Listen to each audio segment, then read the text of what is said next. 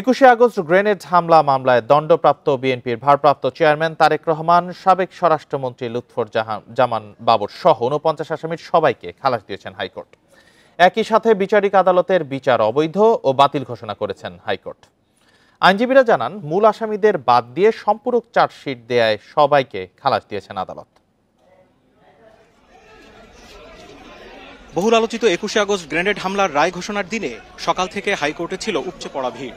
বিচারপতি আসাদুজ্জামান ও এনায়েত হোসেনের বেঞ্চে প্রায় এক ঘণ্টা ধরে রায় পড়া শেষ হয় বেলা বারোটার দিকে। বিচারিক আদালতের রায়ের বিরুদ্ধে ডেথ রেফারেন্স নাকচ করে এবং আসামিদের আপিল মঞ্জুর করে রায় ঘোষণা করেন আদালত। বিএনপির ভারপ্রাপ্ত চেয়ারম্যান তারেক রহমান, সাবেক স্বরাষ্ট্র প্রতিমন্ত্রী লুৎফুজ্জামান বাবর সহ দণ্ডিত উনপঞ্চাশ আসামির সকলকে খালাসের রায় দেন হাইকোর্ট বেঞ্চ। আইনজীবীরা জানান, আরেক মামলায় মৃত্যুদণ্ডপ্রাপ্ত মুফতি হান্নানের জবানবন্দির ভিত্তিতে সম্পূরক চার্জশিটে জড়ানো হয় রাজনৈতিক হেভিওয়েট ব্যক্তিদের। এছাড়া কোনো আসামি আদালতে বলেননি যে আসামিরা সরাসরি গ্রেনেড হামলা করেছেন। আজকে মহামান্য আদালত এই যে চতুর্থ চার্জশিট এবং মুফতি হান্নানের দ্বিতীয় স্বীকারোক্তিমূলক জবানবন্দির ভিত্তিতে যে চার্জশিটটা দেওয়া হয়, সেই চার্জশিটটা আইন বহির্ভূত ছিল।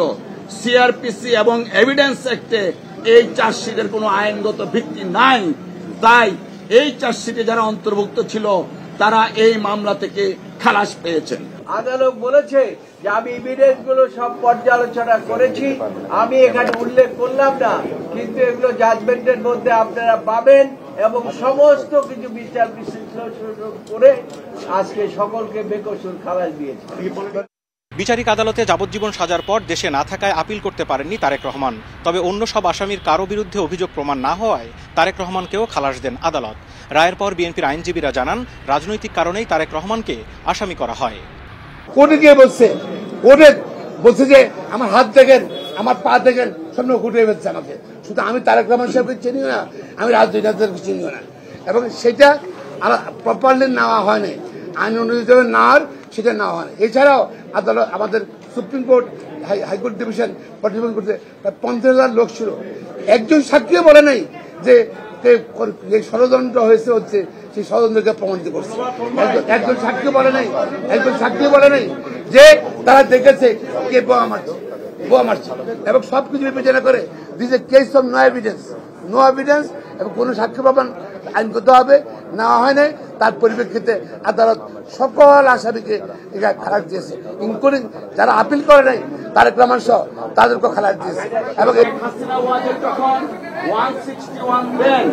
সেইখানেও তারেক রহমান সাহেবের নাম ছিল না। পরবর্তীতে তিনি ক্ষমতায় এসে রাষ্ট্রযন্ত্রকে ব্যবহার করে নিজের রাজনৈতিক হীন উদ্দেশ্যকে সাধন করার জন্য জনাব তারেক রহমান সাহেবকে এই মামলায় সম্পৃক্ত করা হয়। হাইকোর্টের রায়ে সন্তোষ জানিয়েছেন আসামিদের পরিবার। মিথ্যা সাজা থেকে ন্যায় বিচার পেয়েছেন বলছেন তারা। তাদেরকে আমি ধন্যবাদ জানাচ্ছি সাধুবাদ জানাচ্ছি এবং আজকে এই রায়ের মাধ্যমে প্রমাণিত হয়েছে যে মামলাটি সম্পূর্ণ মিথ্যা ছিল ভিত্তিহীন ছিল এবং আমরা ন্যায় বিচার পেয়েছি।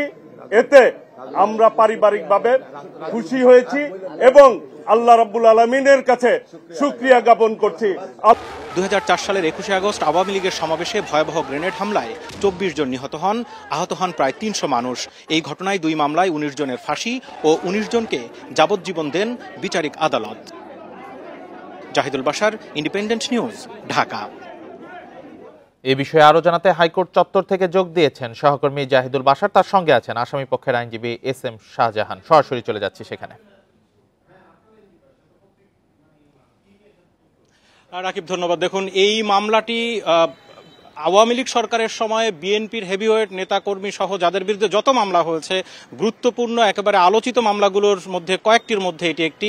একুশে আগস্ট গ্রেনেড হামলা মামলা এই মামলার লুৎফুজ্জামান বাবর আব্দুল সালাম, পিন্টু সহ গুরুত্বপূর্ণ আসামিদের আইনজীবী ছিলেন এবং বাংলাদেশের অন্যতম ফৌজদারি আইন বিশেষজ্ঞ এস এম শাহজাহান, তিনি আমার সাথে রয়েছেন এবং এই মামলা তার সহকারী আইনজীবী হিসেবে ছিলেন শামসুর নাহার শশী। আইনজীবী দুজনই আমার সাথে রয়েছেন। আমি একটু এস এম শাহজাহানের কাছে যাব। গুরুত্বপূর্ণ এই মামলায় সব আসামিরা খালাস পেয়েছেন। এটি এখন বড় প্রশ্ন। ঠিক কোন গ্রাউন্ডে সব আসামিরা খালাস পেলেন। তার মানে হোল মামলাটাই আসলে বলতে গেলে বাতিল হয়ে গেছে। একটু বিস্তারিত জানাবেন, আপনি শুনানি করেছেন দীর্ঘদিন ধরে।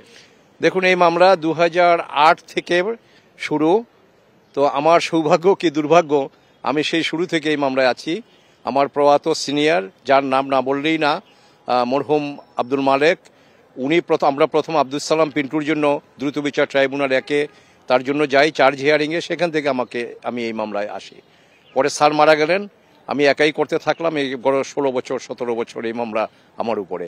তো আজকে এই কোর্টে রায় যেটুকু পড়ে শোনালো, তার মধ্যে আমরা যেটা লক্ষ্য করলাম যে আমার যেই আর্গুমেন্ট ছিল বিজ্ঞ কোর্টের কাছে, মাননীয় আদালতের কাছে, সেটা হলো যে আপনার পর, দুইটা চার্জশিট। প্রথম চার্জশিটটা অ্যাবসোলিটলি কারণ এজাহারে কারও নাম নাই। আর অন্য কোনো এভিডেন্স এই মামলায় নাই চাক্ষুষ যে যারা এটা বলতে পারবে বা বলেছে যে ওমোকে গ্রেনেড মেরেছে অথবা ওমোকে আমি দেখলাম গ্রেনেড মারছে। কোর্ট আমাদের সাথে একমত যেটা হয়েছে। কাজে এরকম ডাইরেক্ট কোনো এভিডেন্স এই মামলায় এই দীর্ঘদিনের তদন্তে এটা বেরিয়ে আসে নাই। সাক্ষ্য কোনো সাক্ষী বলে নাই। এখন যেটা হচ্ছে সেটা হলো যে মুফতি হান্নান ইতিমধ্যে যার সিলেটের আনোয়ার চৌধুরী সাহেবের ওই যে গ্রেনেড মামলায় যার ফাঁসি কার্যকর করা হয়েছে ওনার দুইটা স্বীকারোক্তি আছে। প্রথম স্বীকারোক্তিতে ভিত্তিতে আপনার প্রথম চার্জশিট আর সেকেন্ড স্বীকারোক্তির ভিত্তিতে হলো দ্বিতীয় চার্জশিট। তো প্রথম চার্জশিট যেটা আসছে, সেই চার্জশিটে যাদেরকে আসামি করা হয়েছে, ওনার স্বীকারোক্তির ভিত্তিতে দেখা যাচ্ছে যে ওই স্বীকারোক্তিটা ওনাকে দীর্ঘদিন আপনার ইয়েতে রেখে, ওই টিএফআই সেলে রেখে বা আপনার রিমান্ডে নিয়ে অনেক দিন রেখে তারপরে সে স্বীকারোক্তি করানো হয়েছিল এবং উনি ওনার জীবদ্দশায়, ওনার ফাঁসি কার্যকর হওয়ার আগে উনি ওই স্বীকারোক্তিটা প্রত্যাহার করে গেছেন। এখন কোর্টের কাছে আমরা নিবেদন করলাম যে কোয়েকিউজডের কনফেশনে তো কারও সাজা হবে না, যদি না সাবস্টেন্টিভ এভিডেন্স না থাকে। আর যার কনফেশন, তাকেও সাজা দেওয়া যাবে না। যদি ওই কনফেশনটা রিট্রাক্টেড হয়ে যায়, সেক্ষেত্রে আদার ইন্ডিপেন্ডেন্ট কিছু এভিডেন্সের প্রয়োজন হয়, এটা আমাদের উচ্চ আদালতের সিদ্ধান্ত। তো কোর্ট, আমি, আমরা কোর্টের কাছে কৃতজ্ঞ। কোর্ট আইনানুগভাবে উনি তন্ন তন্ন করে দেখেছেন যে এই মামলায় ওই প্রথম চার্জশিটের বেসিস যেটা আপনার মুফতি হান্নানের কনফেশন এছাড়া অন্য কোনো এভিডেন্স নাই। আর এই এই মামলায় উনিশ জনের ফাঁসি দেওয়া হয়েছিল এবং উনিশ জনকে তারেক রহমান সহ যাবজ্জীবন দেওয়া হয়েছিল। আর বাকি এগারো জন আসামিকে বিভিন্ন মেয়াদে কারাদণ্ড দেওয়া হয় যেখানে সাবেক তিনজন আইজিপিও ছিলেন এই এই মামলাতে। এই এখন সব আসামিরা খালাস পেয়ে গেলেন। খুবই গুরুত্বপূর্ণ প্রশ্ন তাহলে চব্বিশ জন মানুষ মারা গেলেন প্রায় তিনশোর মতো আহত হলেন এই পরিবারগুলো বা তাহলে এই দায়টা কার? এই বিচার, তাদের তাদের বিচারের এখন কি হবে? সেটা দেখেন, আমি আইনের ছাত্র হিসেবে আমি এই মামলার যখন আর্গুমেন্ট শুরু করেছি কোর্টে সবসময় আমি একটা কথা বলতাম যে I have come to defend the accused but not I have come to defend the offence এই অপরাধটা অত্যন্ত গুরুত্ব, অত্যন্ত গুরুতর অপরাধ। তা এখন একটা মামলায় আপনার বিচার করতে গেলে অপরাধের গুরুত্বর সাথে সাথে আবার আসামির সংশ্লিষ্টতা যেটা, এটাও কিন্তু আপনার কোর্ট বিবেচনা করবেন। তো এই অপরাধের গুরুতর অপরাধ, এটা নো ডাউট কিন্তু এই আসামিদের সংশ্লিষ্টতা যদি পাওয়া না যায়, সেক্ষেত্রে আসামিরা তো খালাস পেতে হকদার। তো আমি বলব যে এই মামলাটাকে রাজনৈতিকভাবে প্রভাবিত করে আপনার যদি এই তদন্তটা না হতো, যদি তদন্ত সঠিকভাবে পুলিশ অফিসার বা এই মামলার তদন্তকারী সংস্থা যারা ছিলেন তারা যদি তদন্ত সঠিকভাবে করে যদি আসল মূল হোতা যারা মূল দায়ী যারা তাদেরকে যদি বের করে নিয়ে আসতো তাইলে সেই মামলা সাজা হতো কি খালাস হতো সেটা ভবিতব্য।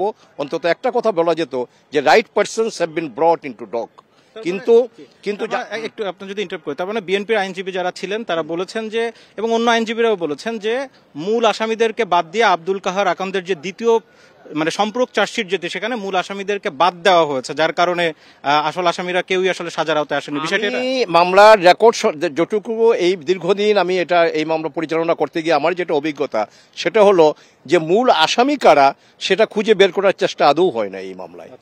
যেটা করা হয়েছে সেটা হলো যে কিছু লোককে ধরে এনে আপনার তাদের স্বীকারোক্তি সেই স্বীকারোক্তি আবার প্রত্যাহার।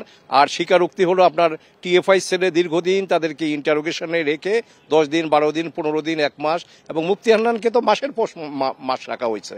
তার ওই আপনার এই যে ইয়ের রিট্রাকশন প্রেয়ারে আমরা যেটা পাই। সেক্ষেত্রে অ্যাকচুয়াল অফেন্ডার যারা, তাদেরকে খুঁজে বের করার কোনো চেষ্টা আদৌ তদন্তকারী সংস্থা করেনি।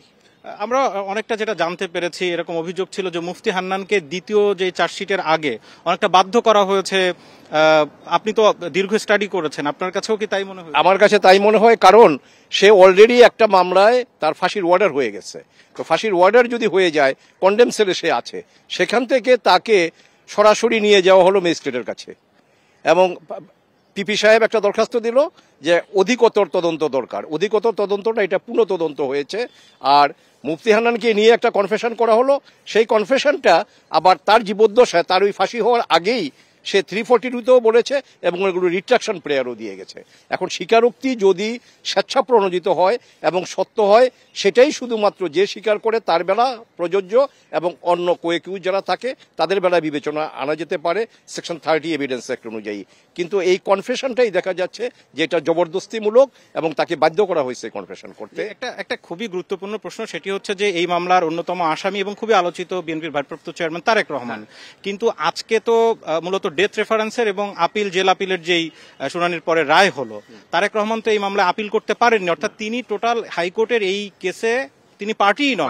তিনি খালাস পেলেন কীভাবে হ্যাঁ, হ্যাঁ, আচ্ছা সেটা হলো যে আমি কোর্টের কাছে যেদিন আমার আর্গুমেন্ট শেষ হলো সেদিন আমার একটা প্রার্থনা ছিল যে যাদের আপিল আপনার সামনে আছে বা যারা আপিল করতে পারেনি ফাইভ সিক্সটি ওয়ান এ মতে অ্যাপ্লিকেশন আপনার সামনে আছে প্রেয়ার আছে এর বাইরে নন অ্যাপিলিং একিউজ যারা যেমন তারেক রহমান সাহেব, তারপরে কাজী কায়কোবাদ এবং অন্যান্য কিছু আসামি আছে যারা আপিল করতে পারেনি। তো আমি তখন কোর্টকে আমাদের ইন্ডিয়ান সুপ্রিম কোর্টের, পাকিস্তান সুপ্রিম কোর্টের এবং আমাদের সুপ্রিম কোর্টের এবং আমাদের হাইকোর্ট ডিভিশনের বিভিন্ন জাজমেন্ট দেখিয়ে বললাম, যদি কোর্ট মনে করেন যে মামলা এজ এ হোল প্রমাণ হয়নি এবং এই মামলার যেই আসামিদের বিরুদ্ধে এই মামলার বিচার হয়েছে, তারা খালাস পাইতে হকদার, সেক্ষেত্রে নন এপিলিং একিউজ যারা অর্থাৎ তারেক রহমান সাহেব এবং অন্যরা যারা আপিল করতে পারেননি, তাহলে এই বেনিফিটটা আপনি যদি মনে করেন যে তাদের বিরুদ্ধেও কোনো এভিডেন্স আপনার টেঞ্জিবল কোনো এভিডেন্স নাই এবং আমরা তাদের বিরুদ্ধে প্রমাণ হয় নাই আপিল না করা সত্ত্বেও তাদেরকে আপনি বেনিফিট দিতে পারেন এবং সেটা আমার কন্টেনশন আমার প্রেয়ার এবং কোর্টের কাছে আমি অনুনয় বিনয় করে বারবার যেটা বলেছি তারেক রহমান সাহেবের পক্ষে এবং অন্যান্য নন এপিডেন্ট নন এপিলিং অ্যাকিউজদের পক্ষে, সেটা কোর্ট গ্রহণ করেছেন এবং নন এপিলিং অ্যাকিউজ যারা তাদেরকে উনি বলছেন যে এই জাজমেন্টের আলোকে তারাও তাদেরকেও এই মামলা থেকে ডিসচার্জ বা অব্যাহতি বা খালাস দেওয়া হতো এটা খুবই গুরুত্বপূর্ণ মামলা। এর আগে সরকার পরিবর্তনের আগে অন্য একটি বেঞ্চে দীর্ঘদিন শুনানি হয়েছে। তারপর একত্রিশ অক্টোবর থেকে আপনি নতুন যে বেঞ্চ বিচারপতি আসাদুজ্জামান এবং এনায়েত হোসেনের বেঞ্চে খুব সম্ভবত চার পাঁচটি তারিখে আপনার শুনানি হয়েছে।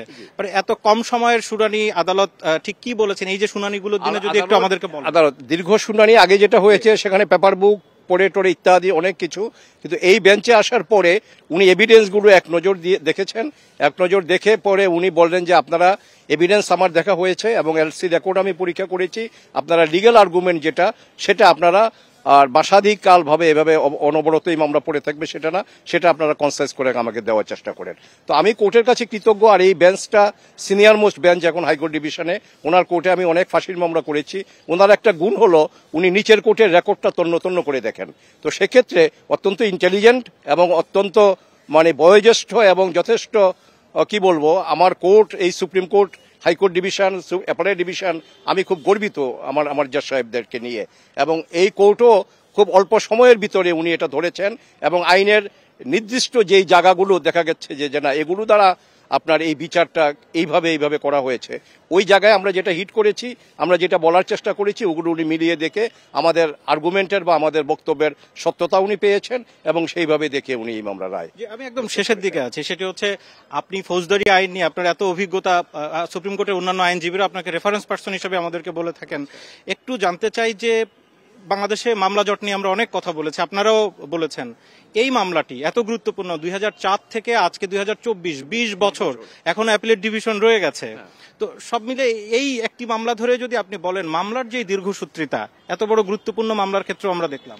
মামলার দীর্ঘসূত্রিতা আছে, এর জন্য আমাদের কোর্ট বাড়াতে হবে, আমাদের লয়ারদের আন্তরিক হতে হবে, এবং আমাদের বিচারক মহোদয় যারা জাস- জাস- জাস্টিস সাহেব যারা, ওনাদেরও আন্তরিক হতে হবে। আমরা সবাই যদি মনে করি যে আমরা অযথা কালক্ষেপণ করব না, তাইলে আমার মনে হয় যে মামলা দ্রুত বিচার শেষ করা সম্ভব।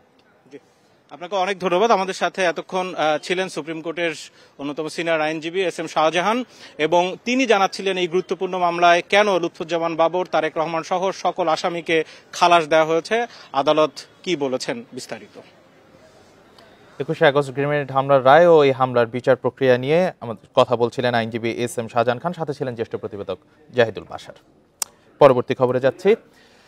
একুশে আগস্ট গ্রেনেড হামলা, মামলা থেকে তারেক রহমান, লুৎফুজ্জামান বাবুর সহ সব আসামির খালাসকে ন্যায় বিচার প্রতিষ্ঠা হিসেবে দেখছে বিএনপি। দলটির নেতারা বলছেন, শেখ হাসিনার নির্দেশেই ওই মামলার রায় দেওয়া হয়েছিল। এর উদ্দেশ্য ছিল তারেক রহমানকে রাজনীতি থেকে সরিয়ে দেয়া। বহুল আলোচিত একুশে আগস্ট গ্রেনেড হামলার মামলা থেকে বিএনপির ভারপ্রাপ্ত চেয়ারম্যান তারেক রহমান, সাবেক স্বরাষ্ট্র প্রতিমন্ত্রী লুৎফুজ্জামান বাবর সহ মৃত্যুদণ্ড, যাবজ্জীবনের সব আসামিকেই খালাস দিয়েছে হাইকোর্ট। বাতিল করেছে বিচারকী আদালতের রায়কে। আদালতের রায়কে স্বাগত জানিয়েছে বিএনপি। দলটির স্থায়ী কমিটির সদস্য আমির খসরু মাহমুদ চৌধুরী বলেছেন, তারেক রহমানকে রাজনীতি থেকে সরিয়ে দিতেই ওই রায় দিয়েছিল তখনকার আওয়ামী লীগ সরকার। এমন একটা পরিবেশ সৃষ্টি হয়েছে যে সরকার তো রিফর্ম করছে, এখন পলিটিক্যাল পার্টিগুলো রিফর্ম কমিটি করে দিয়েছে। যেমন আমাদের দলে আমরাই পাঁচ, সাতটা এখন রিফর্ম কমিটি করেছি। তো এখন বিষয়টা হচ্ছে কি, আমাদের এই আন্ডারস্ট্যান্ডিংটা হচ্ছে যে কি রিফর্ম ইজ এ মাস্ট এবং রিফর্ম করে আমরা সামনের দিকে এগোতে হবে। বিএনপির সিনিয়র যুগ্ম মহাসচিব রুহুল কবির রিজভি বলেছেন, হাইকোর্টের এ রায়ের মধ্য দিয়ে ন্যায় বিচার প্রতিষ্ঠিত হলো। আপিল বিভাগ যথার্থ বিচার করেছেন ন্যায় বিচার হয়েছে এবং আমরা দীর্ঘদিন রাজনৈতিক সংগ্রাম এবং ন্যায় বিচারের জন্য যে সংগ্রাম করেছি তার কিছুটা হলেও আজকে প্রতিফলন হয়েছে। তার দাবি জোর করে রাষ্ট্রশক্তি প্রয়োগ করেই তারেক রহমান সহ অন্যদের সাজা দিতে চেয়েছিল Awami League. Al Amin Hossain Independent News Dhaka. তত্ত্বাবধায়ক সরকার সংক্রান্ত ত্রয়োদশ সংশোধনী বাতিলের রায়ের রিভিউ শুনানি উনিশে জানুয়ারি। এদিন ঠিক করেছে প্রধান বিচারপতি সৈয়দ রেফাত আহমেদের নেতৃত্বাধীন আপিল বিভাগের পূর্ণাঙ্গ বেঞ্চ। এর আগে দু হাজার এগারো সালের দশই মে সংবিধানের ত্রয়োদশ সংশোধনী, তত্ত্বাবধায়ক সরকার ব্যবস্থা বাতিল করে দেয়া হয় রায়। হাইকোর্টের দেয়া রায়ের বিরুদ্ধে করা আপিল মঞ্জুর করে এ রায় দেয়া হয়েছিল। আপিল বিভাগের ওই রায় পুনর্বিবেচনা চেয়ে অক্টোবরে আবেদন করেন বিএনপি মহাসচিব মির্জা ফখরুল ইসলাম আলমগীর।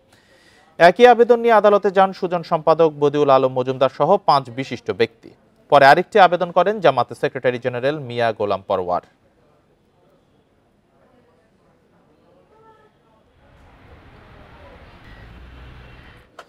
দুদকের দায়ের করা অবৈধ সম্পদ অর্জনের মামলায় খালাস পেয়েছেন বিএনপির স্থায়ী কমিটির সদস্য ডক্টর খন্দকার মোশাররফ হোসেন। সকালে ঢাকার বিশেষ জজ আদালত আটের বিচারক মোহাম্মদ মঞ্জুরুল হোসেনের আদালত এ রায় দেন। এ সময় আদালতে উপস্থিত ছিলেন খন্দকার মোশাররফ হোসেন। রায়ের প্রতিক্রিয়ায় তিনি বলেন, হয়রানির উদ্দেশ্যেই মূলত মামলাটি করা হয়। এই মামলার মাধ্যমে সতেরো বছর ধরে নানাভাবে হয়রানি করেছে সরকার। পরে তার আইনজীবী বোরহান উদ্দিন বলেন, মামলায় অবৈধ সম্পদের অভিযোগ নিয়ে রাষ্ট্রপক্ষ আদালতে কোনো প্রমাণ দেখাতে পারেনি। এসব বিবেচনায় নিয়েই আদালত খন্দকার মোশাররফকে খালাস দিয়েছেন। দু সালে অবৈধ সম্পদ অর্জনের মামলাটি করে দুদক।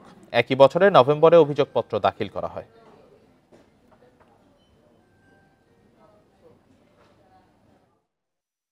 সরকারের পক্ষ থেকে যে অভিযোগ আনা হয়েছে সেই অভিযোগের পক্ষে কোনো রকমের প্রমাণ কোনো রকমের সাক্ষী বা কোনো রকমের কিছু দেখাতে পারেনি।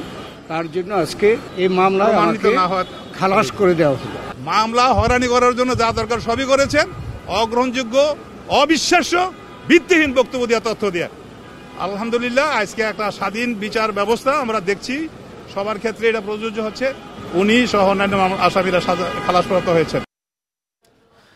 এবার দুহাজার নয় সালের বিডিআর বিদ্রোহের বিচার নিয়ে প্রশ্ন তুললেন জামাত আমির ডাক্তার শফিকুর রহমান। এ হত্যাকাণ্ডের পরিকল্পনাকারী ও কুশীলভ কারা? তা আজও অজানা দাবি করে তৎকালীন ক্ষমতাসীনদের এর জন্য দায়ী করেন তিনি। সকালে খুলনায় খানজাহান আলী থানা জামাতের কর্মী সভায় এসব কথা বলেন তিনি। ওই বিদ্রোহে প্রতিশ্রুতিশীল সেনা কর্মকর্তা ও তাদের পরিবারের সদস্যদের হত্যার প্রসঙ্গ সামনে এনে সেই খুনিরা কীভাবে পালিয়ে গেল তাও জানতে চান ডাক্তার শফিকুর। এছাড়া বাংলাদেশকে একটি মর্যাদাশীল রাষ্ট্র হিসেবে দেখার প্রত্যাশা জানিয়ে জামাত আমির বলেন, বিদেশিদের বন্ধু হিসেবেই দেখতে চান তারা, প্রভু হিসেবে নয়।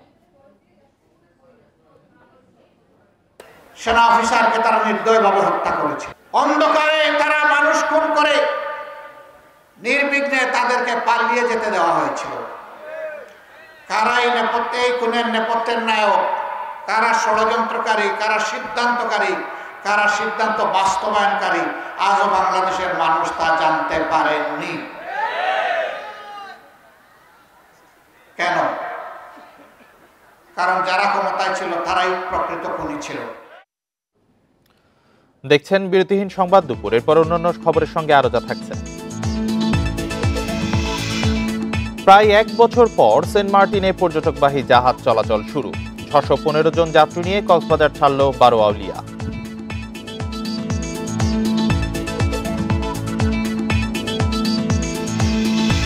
সাতাশ বছরেও পুরো বাস্তবায়ন হয়নি শান্তি চুক্তি, বেড়েছে জাতিগত সংঘাত, পাহাড় দখল, সেনা প্রত্যাহারের দাবি।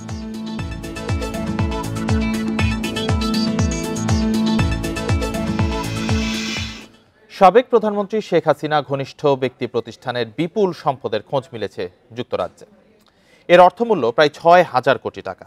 আর এই তথ্য উঠে এসেছে যুক্তরাজ্যের সংবাদ মাধ্যম গার্ডিয়ানের অনুসন্ধানী প্রতিবেদনে। পাচার করে নেওয়া এই অর্থ আবাসন খাতে বিনিয়োগ করা হয়েছে বলেও দাবি করা হয়েছে ওই প্রতিবেদনে। এর মধ্যে রয়েছে বসুন্ধরা, নাসা সহ চারটি শিল্প গ্রুপ। ব্রিটিশ সংবাদ মাধ্যম অবজারভার ও বার্লিন ভিত্তিক দুর্নীতি বিরোধী প্রতিষ্ঠান ট্রান্সপারেন্সি ইন্টারন্যাশনালের যৌথ অনুসন্ধানের সূত্রে তারা আরও জানিয়েছে, এসব গ্রুপের মালিকদের নামে যুক্তরাজ্যের নানা জায়গায় অন্তত সাড়ে তিনশো প্রতিষ্ঠান স্থাপনা রয়েছে। এর মধ্যে রয়েছে ফ্ল্যাট থেকে শুরু করে সুবিশাল ভবন। যুক্তরাজ্য দেশটির বাইরের নানা প্রতিষ্ঠান অফশোর কোম্পানি নামে এসব কেনা হয়েছে বলেও দাবি করা হয়েছে প্রতিবেদনটিতে।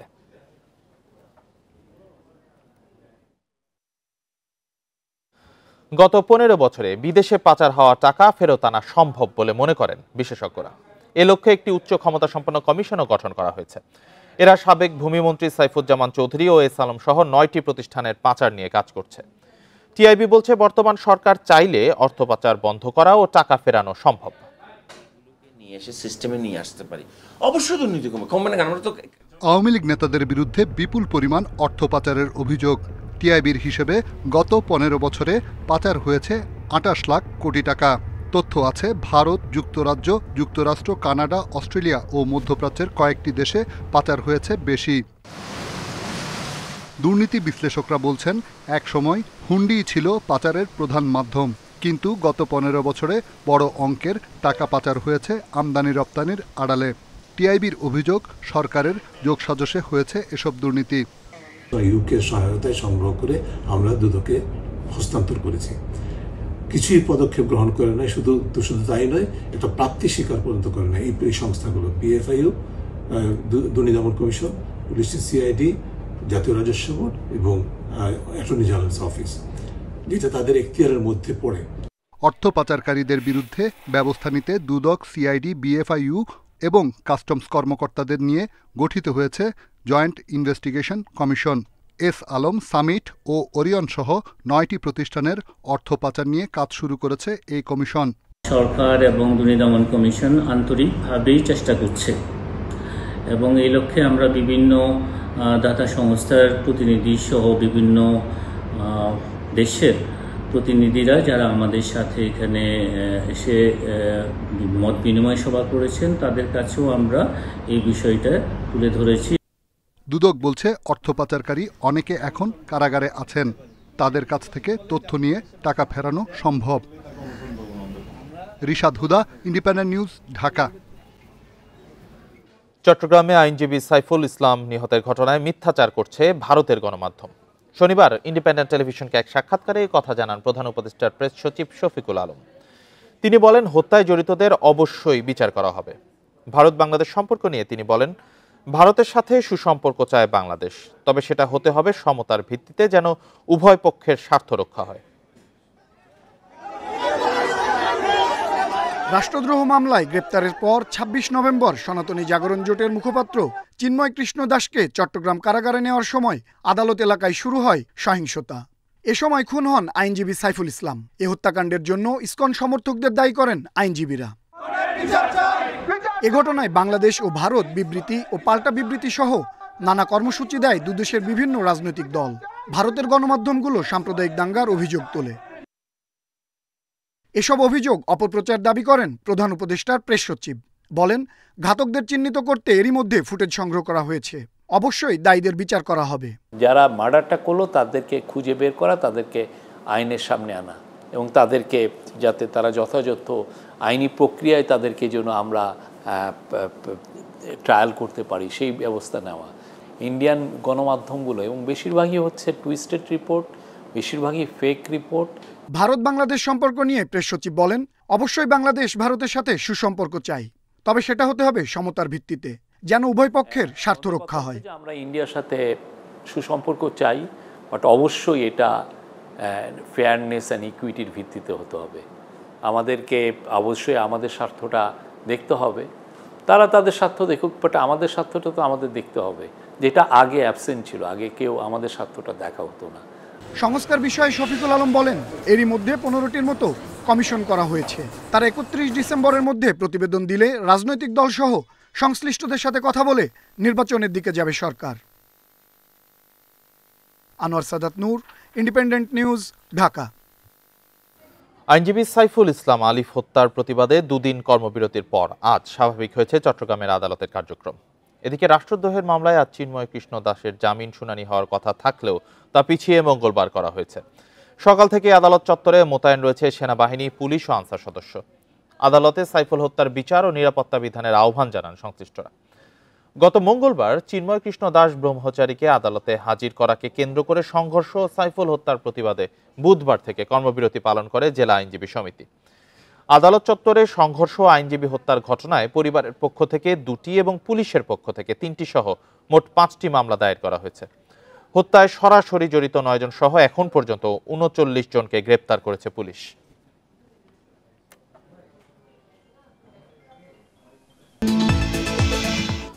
বাড্ডার সুবাস্তু নজর ভ্যালি শপিং কমপ্লেক্সে আগুনে পুড়ে গেছে কয়েকটি দোকান। শনিবার রাত একটার দিকে আগুন লাগার পর দেড় ঘণ্টার চেষ্টায় তা নিয়ন্ত্রণে আনে ফায়ার সার্ভিসের দুটি ইউনিট। প্রত্যক্ষদর্শী ও ফায়ার সার্ভিস জানিয়েছে, সুবাস্তু নজর ভ্যালির পেছনে কয়েকটি দোকানে আগুন লাগে। ধোঁয়ায় আতঙ্কিত হয়ে পড়েন ভবনের আবাসিক ফ্ল্যাটের বাসিন্দারা। খবর পেয়ে ঘটনাস্থলে যায় ফায়ার সার্ভিস। শনিবার রাত আড়াইটার দিকে ফায়ার সার্ভিসের দুটি ইউনিটের চেষ্টায় নিয়ন্ত্রণে আসে আগুন। আগুনের খবর পেয়ে রাতেই মার্কেটের সামনে ভিড় করেন দোকান মালিকরা। তবে নিরাপত্তার স্বার্থে কাউকে ভেতরে ঢুকতে দেয়নি কর্তৃপক্ষ।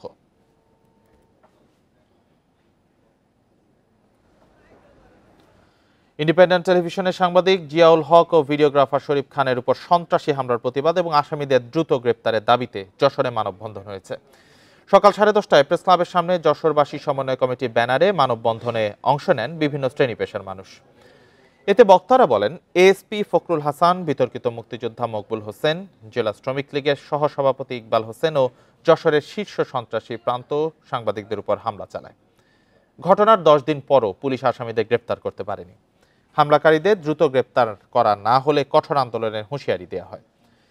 বিশে নভেম্বর এএসপি ফখরুল হাসান ও তার পরিবারের অনিয়ম, দুর্নীতি সংবাদ সংগ্রহ করতে গিয়ে সন্ত্রাসী হামলার শিকার হন সাংবাদিক জিয়াউল হক ও ভিডিওগ্রাফার শরীফ খান। এ সময় তাদের ক্যামেরাও ভাঙচুর করে সন্ত্রাসীরা। আর এই ছিল বিরতিহীন সংবাদ দুপুরের আয়োজনে। ইন্ডিপেন্ডেন্ট টেলিভিশনের সব খবর আরও বিস্তারিত জানতে চোখ রাখুন ফেসবুক ইউটিউব এক্সে এতক্ষণ সাথে থাকার জন্য ধন্যবাদ সবাইকে।